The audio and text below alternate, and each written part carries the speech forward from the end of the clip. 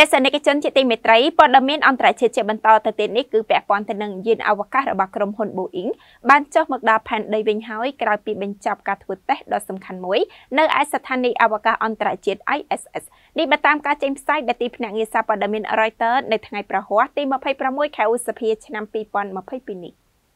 យានសម្រាប់ដឹកអវកាសយានិកដែលអភិវឌ្ឍដោយក្រុមហ៊ុន Boeing បានចុះមកដល់រដ្ឋ New Mexico របស់អាមេរិកកាលពីថ្ងៃពុធសប្តាហ៍នេះក្រោយត្រឡប់មកពីស្ថានីយ៍អវកាសអន្តរជាតិ ISS ខណៈវាគឺជាការធ្វើតេស្តហោះហើរយ៉ាងសំខាន់មួយ ដើម្បីឲ្យយានអវកាសនោះឈានទៅក្លាយជាយានជំនិះថ្មីបន្ទាប់ទៀតរបស់ទីភ្នាក់ងារអវកាស NASA សម្រាប់ការងារដឹកជញ្ជូនអវកាសយានិកឡើងទៅកាន់លំហអវកាសនេះបើតាមការចេញផ្សាយដោយទីភ្នាក់ងារសារព័ត៌មាន Reuters នៅថ្ងៃប្រហ័សទី26ខែឧសភាឆ្នាំ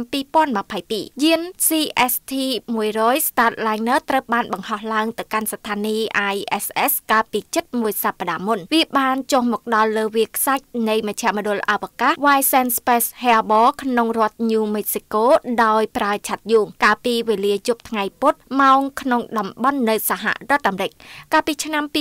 2019ក្រុមហ៊ុន Boeing ធ្លាប់បានធ្វើតេស្តស្រដៀងគ្នាជាលើកដំបូងម្ដងរួចមកហើយប៉ុន្តែវាបានទទួលបរាជ័យក្រោយយានអវកាសនោះជួបបញ្ហាផ្នែកប្រព័ន្ធគ្រប់គ្រងរបស់វាបេសកកម្មសាកល្បងដោយពុំមានមនុស្សជីខាងលើនេះគឺជាការបោះជំហានធំមួយសម្រាប់ដំណើរការអភិវឌ្ឍរបស់យាន Starliner ដែលកន្លងមកបានជួបប្រទះបញ្ហាពន្យាពេលជាច្រើនលើកហើយបានអូសបន្លាយការចំណាយកាន់តែច្រើនឡើងនោះដើម្បីឈ្មោះទៅរកការក្លាយជាមធ្យោបាយគួរឲ្យទុកចិត្តទី2សម្រាប់ NASA ក្នុងការបញ្ជូនក្រុមអវកាសយានិករបស់ខ្លួនឡើងនឹងចុះស្ថានីយ៍ ISS ក៏បញ្ជាក់ថាតាំងពីការចាប់ផ្ដើមបញ្ជូនអវកាសយានិកចេញពីទឹកដីអាមេរិកផ្ទាល់ជាថ្មីវិញឡើងទៅទីអវកាសកាលពីឆ្នាំ